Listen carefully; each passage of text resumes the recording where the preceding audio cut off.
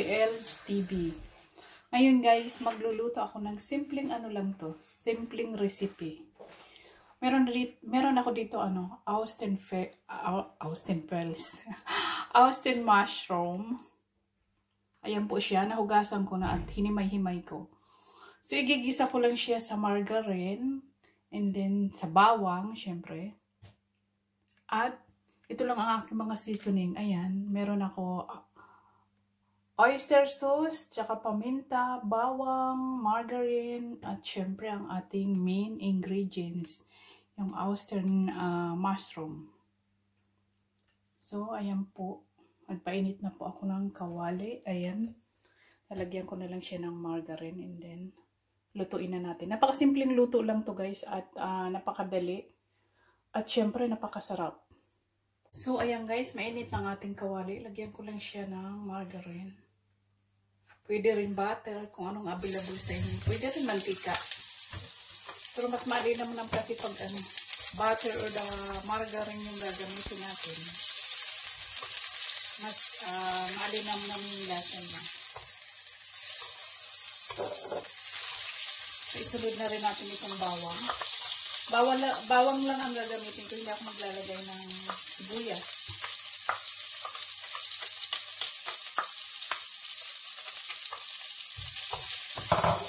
Simpleng luto lang to at napakadali guys.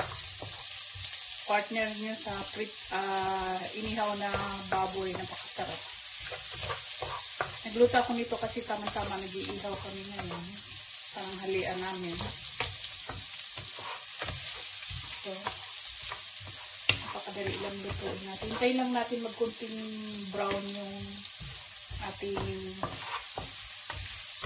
bawang para lumabas yung aroma niya. Bango-bango guys. Gustong gusto ko yung amoy ng bawang kapag uh, ginigisa na.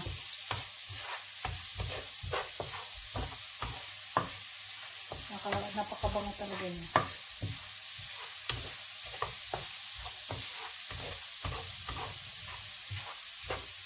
Ayan, medyo brown na siya guys. Nagkakakulay na. Pwede na natin ilagay ang ating Austin Fields. Ayan.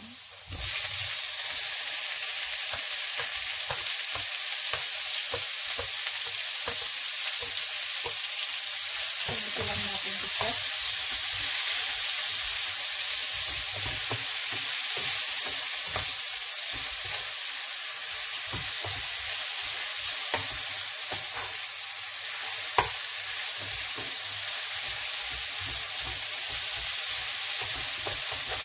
So, ayan guys, pwede na ako dito maglagay ng paminta, tsaka oyster sauce.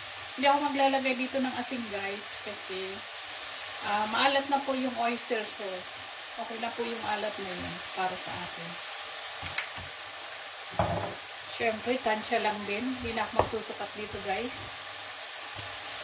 Nasa sa inyo yung kung gaano kadami ilalagay nyo. Ayan, tama na siguro yun. Tansya-tansya lang. Wala nang sukat-sukat guys. Hmm, mga bango.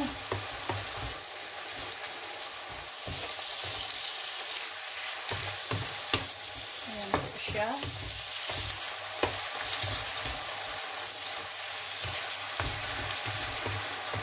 Medyo ipa-reduce lang natin yung sabaw niya. O yung sauce niya. Parehas lang yung sabaw at sauce. Nagtubig kasi siya guys. Kasi siyempre, hinugasan natin to. Nagsisip-sip yan siya ng tubig. Kapag nahuhugasan. Kaya ayun. Medyo may tubig siya. Medyo i-ano lang natin yung ano yun. Yung sabaw. Siyempre, tikman natin siya mamaya. Yun po guys, luto na po siya. Ayan, medyo umano na yung sabaw niya, nag-reduce na. So, ganun lang kadali guys, at kasimple. At meron na kayong masarap na ulam, pang side dish. Pwede rin pang side dish.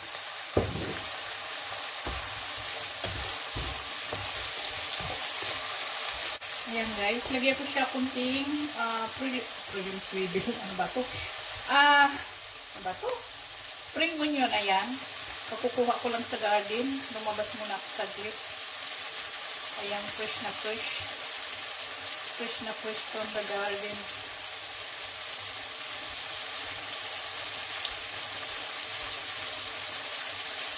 So, tama na yan. Ayan na siya guys. Haluin lang natin. I-off ko na to. Ayan, naka-off na siya. Ayan, haluin lang natin. So, ayan na po siya guys. Yummy, yummy. So, ready to serve na yan guys. Ayan na po siya guys. Ready to serve na siya. Ayan, umuusok-usok pa. So, ito na po siya guys. Ready to serve na ang ating oyster mushroom with oyster sauce. Ayan na po siya. Nasa sa inyo guys yung kung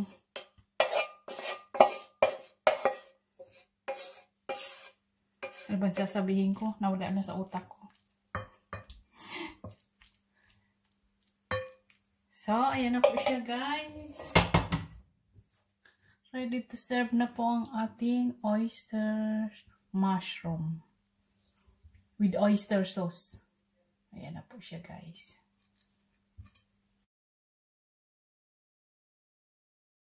So, yun guys. Nag-grill kami.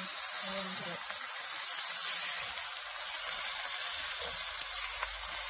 Ayan na po siya. Ang bango-bango. panahon ang araw.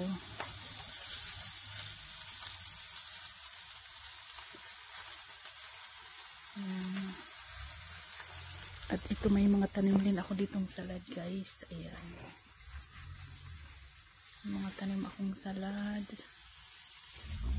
Ayan salad At syempre pitsay. Ayan, may tanim na akong pitsay guys. Namulaklak na. Hindi ko alam kung bakit. Hindi ko pa yan nagulayan pero namulaklak na. Ayan po siya.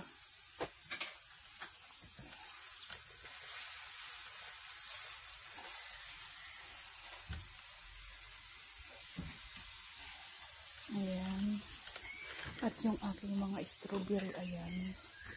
Hindi maganda ngayon yung tubo ng strawberry guys.